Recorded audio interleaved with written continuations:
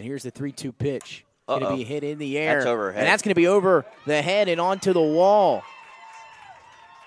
Jadalyn Rodriguez just Golden rule, Nick. misjudged it in the air. And you said, Nick, What's don't take that rule? first step forward. yes. First step is always back, and she came in on that. Ball game in the bottom of the second. Here's the pitch. And that's, going through. to get through. A base hit That's and an RBI hit. for Jess Reed, and the Wilmington Wildcats take a 1 0 lead here at home in inning number two. Here's the 3 1. Hit Oh, up in the her up. air. Getting over from Getting second is it. Zolano, and she'll haul it in. And Kylee Gunkel with a great response after allowing a few runners on. And Yep. nope.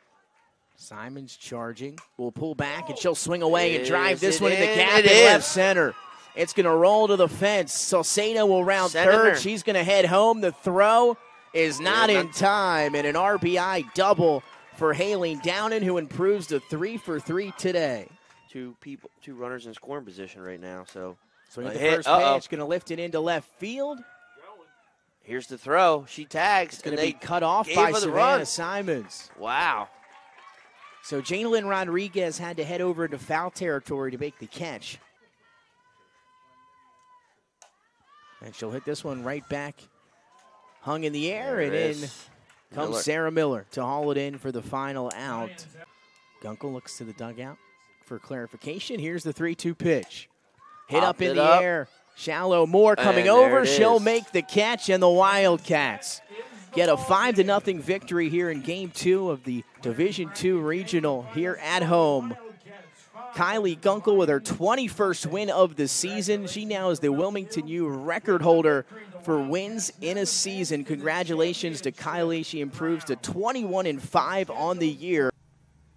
And welcome live inside the CACC network. Nick Allison joining now with Wilmington head coach Mike Shehorn. Coach, five to nothing victory for you guys here today, earning your spot in the championship series tomorrow afternoon. What'd you see out of the team here in this one? Uh, you know, they came out with a lot of energy today. I mean, I was really excited when I saw them when they first walked out of the, the locker room, you know, hooting and hollering. And, you know, it's early in the morning. You know, we, we started, we had BP at 8.20 a.m. So so it was good to see. And then they came out in the game today and, um, and they played hard and, and never gave up.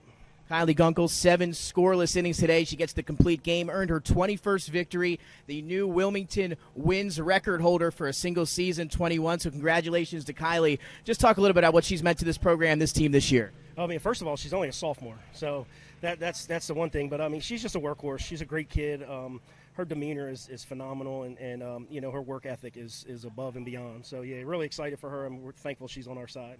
Absolutely. 10 hits today. You guys put up five runs. Sara Miller staying hot. Um, Haley Downin, three hits today. Talk a little about the hitting part of this matchup. Yeah, I mean, um, Sara's just a beast and, and does what she does today. And, you know, she's she's been known for the long ball, but today she was able to, to do some different things, get some base hits and stuff. Uh, and Haley, I mean, Haley's always she's been in our program now for four years, and she's always come up with some big hits. And, you know, she's had somewhat of a, a, down year compared to her, her years in the past, but she's starting to get hot at the right time, and we're excited for that. And I'm sure you're sick of seeing the Georgian Court Lions now for the fourth or whatever time in a week. Now you're going to shift your focus to the championship series tomorrow. I'm sure not unaware of who you're going to be playing yet.